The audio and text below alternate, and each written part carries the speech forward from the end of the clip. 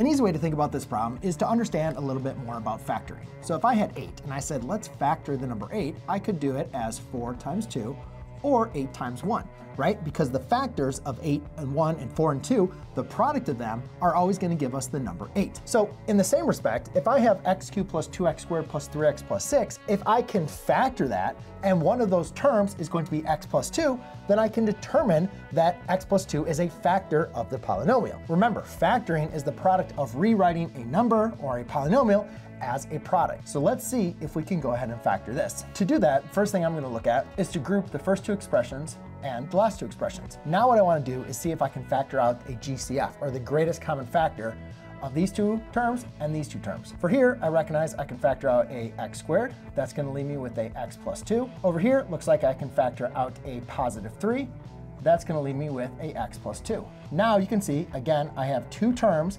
separated by addition, and inside the parentheses, I have an x plus 2 and an x plus 2. So now I can factor that out one more time, and now you can see I have rewritten this polynomial as a product of two factors, one being x plus 2, which is the question, it is a factor.